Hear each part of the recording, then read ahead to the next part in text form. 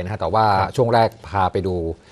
เหตุอุกอาจที่เกิดขึ้นที่ขอนแก่นกันก่อน คุณผู้ชมครับสำหรับความคืบหน้านะครับ กรณีคนร้ายบุกเข้าไปยิงผู้ป่วยในโรงพยาบาลขอนแก่นเสียชีวิตคาเตียงนะครับ ล่าสุดทางโรงพยาบาลศูนย์ขอนแก่นได้เพิ่มมาตรการคุมเข้มมาตรการรักษาความปลอดภัย และวันพรุ่งนี้ครับเตรียมจะนิมนต์พระจำนวน 5 รูปทำบุญยังจุดเกิดเหตุครับ คุณผู้ชมครับจากกรณีคนร้ายบุกยิงชาวเมียนมาวัย 29 ปี เสียชีวิตบนเตียงพยาบาลภายในโรงพยาบาลศูนย์ขอนแก่น ขณะรอเข้ารับการผ่าตัด ที่ตึกอายุรกรรมชาย 6 ชั้น 5 ห้องพักผู้ป่วยรวม วันนี้ทางนายแพทย์เกรียงศักดิ์วัชระนุกูลเกียรติครับ ท่านผู้อำนวยการโรงพยาบาลขอนแก่น ได้นำคณะผู้บริหารฝ่ายการแพทย์ แล้วก็พยาบาลนะครับเข้าไปเยี่ยมให้กำลังใจบรรดาแพทย์แล้วก็พยาบาล ที่ปฏิบัติงานหน้าที่ ชั้น5นะครับอาคาร 6 หอผู้ป่วยศัลยกรรมชายจุดที่เกิดเหตุ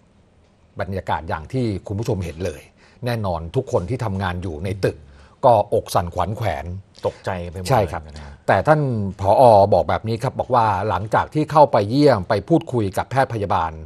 รวมถึงผู้ป่วยนะครับที่เข้ารับการรักษาอยู่ที่หอผู้ป่วย ตึกนี้รวมทั้งหมดเนี่ย32 คน พบว่าแพทย์แล้วก็พยาบาลทุกคนนะฮะยังคงมีขวัญกำลังใจในการทำงาน มีเพียงแค่พยาบาลที่ประจำอาคาร 5 ชั้น 3 ที่อยู่ประจำจุดเกิดเหตุ เพื่อที่ดูแลผู้ป่วยของตัวเอง แล้วก็เป็นคนเห็นเหตุการณ์ทั้งหมด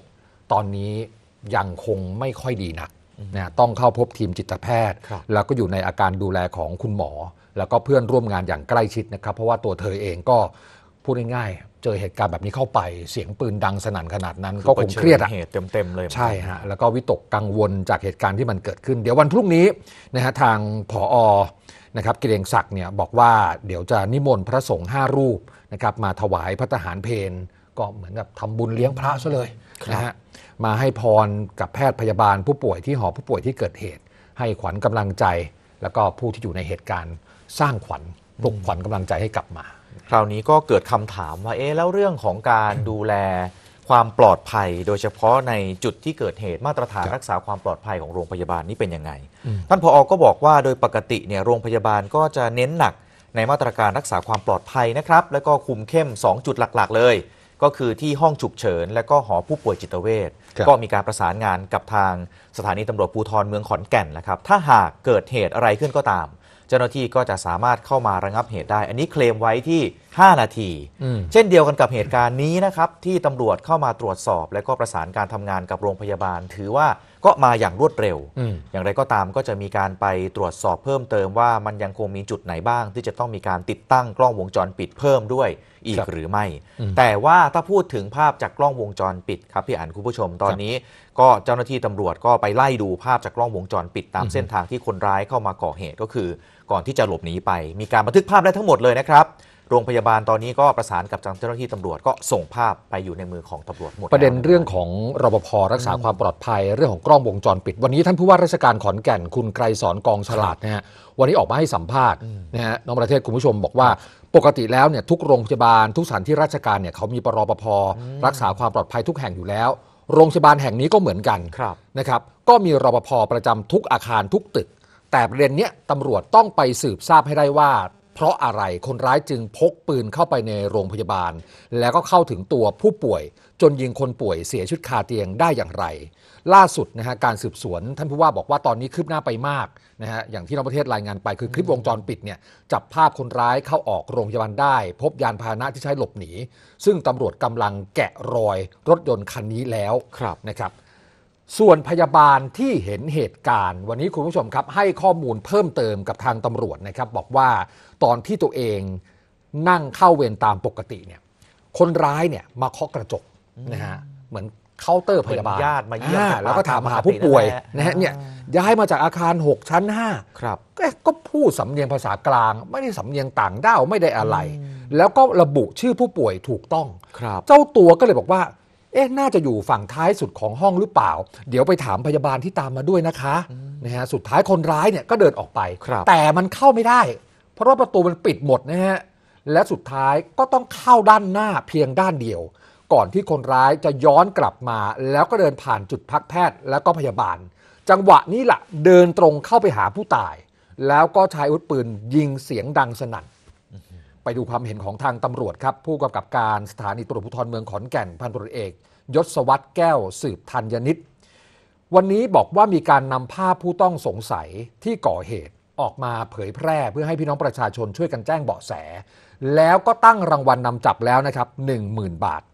ขณะเดียวกันมีการประสานตำรวจตรวจคนเข้าเมืองให้เร่งติดตามตัวก่อนคนร้ายจะหลบหนีออกทางประเทศเพื่อนบ้าน ซึ่งภาพจากกล้องวงจรปิดเนี่ยคุณผู้ชมดูนะฮะ คนร้ายสวมใส่เสื้อยืดแขนสั้นสีขาว กางเยนกางเกงยีนขายาวสีดำนะครับสะพายกระเป๋าเนี่ยฮะขับรถกระบะ ยี่ห้อฟอร์ด4ประตูสีดำเนี่ยฮะคันที่ขับออกไป แล้วเหมือนตั้งใจวางแผนมา เพราะไม่ติดแผ่นป้ายทะเบียน จอดอยู่ริมถนนสีตันหน้าโรงพยาบาลเลยนะฮะจังหวะนั้นก็เดินเข้าไปในโรงพยาบาลเวลาประมาณสักสองทุ่มครึ่งแล้วขึ้นไปชั้น 5 อาคาร 6 แล้วก็จากเหมือนที่พยาบาลเล่าเหตุการณ์ให้ฟังถามหาผู้ป่วยอยู่ห้องไหนตรงไหนพยาบาลบอกเสร็จปุ๊บ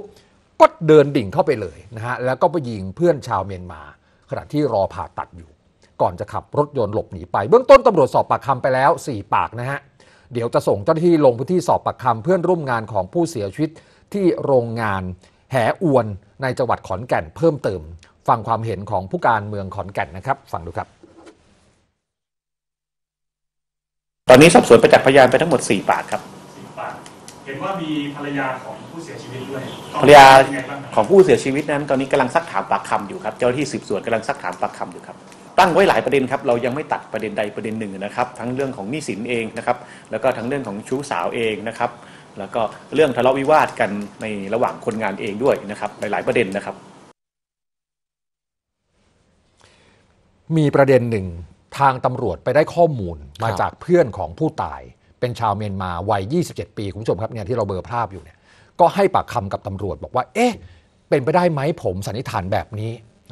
คือผู้ตายเนี่ยไปรู้จักกับผู้หญิงชาวไทยคนหนึ่งครับนะฮะแล้วก็เหมือนคบหากัน แต่ก่อนเนี่ยก็ผู้ตายเนี่ยก็พักอยู่ในแคมป์ของโรงงานแหอวนนี่แหละครับ สุดท้ายพอไปคบหารู้ใจกันดูใจกันย้ายออกจากแคมป์โรงงานฮะ ไปอยู่บ้านพักของผู้หญิงที่อยู่ด้านนอก ก็คือบ้านสำราญใกล้ๆกับโรงงาน ครับ แต่ปรากฏว่าไปรู้ทีหลังว่าผู้หญิงคนนี้มีแฟนเป็นคนไทยอยู่แล้ว โอ้อันนี้แต่ก็ยังยืนยันที่จะคบกันต่อ เจ้าตัวที่ให้ปากคำกับตำรวจเพิ่มเติมบอกว่า เอ๊ะ เป็นไปได้ไหมว่าปมมันน่าจะมาจากเรื่องชู้สาว ส่วนอีกหนึ่งประเด็นที่เขาสงสัยกันว่า เอ๊ะ เป็นเรื่องของนายทุนเงินกู้หรือเปล่า ครับ เพราะในโรงงานมันจะมีการยืมเงินกันเกิดขึ้นไหมมีการทวงหนี้โหดหรือเปล่า เพื่อนผู้ตายชาวเมียนมาคนนี้บอกว่าไม่น่าจะเป็นไปได้ ครับ เพราะถ้าเป็นการยืมเงินกัน ก็จะเป็นงานการยืมเงินกันระหว่างเพื่อนฝูงด้วยกัน ไม่มีการไปยืมเงินคนไทย ไม่ไม่มีการยืมเงินในโรงงานหรืออะไรก็ตามแต่ภายนอกไม่มีนะครับ แต่ตำรวจก็ยังไม่ได้ตัดประเด็นใดทิ้งนะฮะครับก็ยังคงวางประเด็นไว้อยู่ครับเหมือนกันนะครับ โดยไม่ได้ตัดประเด็นใดประเด็นหนึ่งทิ้ง แต่น้ำหนักมันก็น่าจะไปตกอยู่ที่เรื่องของประเด็นชู้สาว ครับที่กำลัง เป็นที่สืบสวนสอบสวนอยู่ในเวลานี้นะครับ อย่างไรก็ตามมันก็เป็นเหตุการณ์ที่สร้างเรียกได้ว่าโอ้โหความรู้สึกที่ใช่แล้วมันเกิดในโรงสะเทือนใจพยาบาลมาก และก็นะฮะเกิดในพื้นที่ที่มันน่าจะปลอดภัยมากที่สุดด้วยนะครับ นั่นก็คือที่โรงพยาบาล